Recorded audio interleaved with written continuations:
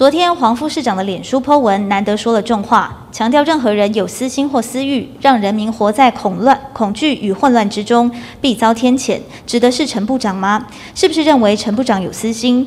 后来双方是否还有通话？通话的内容是什么？我想，我这从一这一个月来，其实我跟陈部长一直都是电话沟通的非常顺畅。那主要是在于说，这一次呃，我想台北的疫情其实都是中央跟地方一起努力才会有今天这样的成果。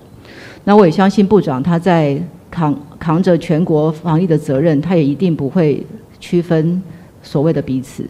但是相关的疫苗政策是在我们这几天碰到很大的问题，就是大家都很辛苦，大家都想把事情做好。那我认为说数量决定开放的对象，可是我们中央的目前的政策是先决定开放的对象，然后再决定数量，然后让地方政府必须要面对民众的质疑。那就算我们在想说这样跟部长沟通，我们也都提过，但是好像。目前为止还是会碰到这个问题，所以在台北市也只能打八十五岁以上的民众。那我们到现在为止，其实还有下一批六十几万，也会再发下来。我们也希望能够早一点，让我们知道说，我们下一波我们怎么样跟八十四岁以下的长辈，可以赶快说明他们什么时候可以达到。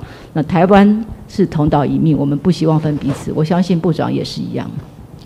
延续提问，黄副市长在脸书上还有提到，看到陈时中部长的未接来电，说接了有用吗？但绿营高层批评，你不接也不回电，还说风凉话，这是应该有的态度吗？我想昨天因为部长打给我的时候应该是很晚了，我已经睡着了。那我早上回电的中，今天回电的时候部长没有办法接。那后来他在两点钟的时候他有回电，那我跟他报报告说我们碰到的问题，那也希望说部长在这一次的疫苗政策也谢谢他们多给我多给了我们七千剂，我们接下来也会尽快把它试打完。所以电话上面我们都是互相有联络。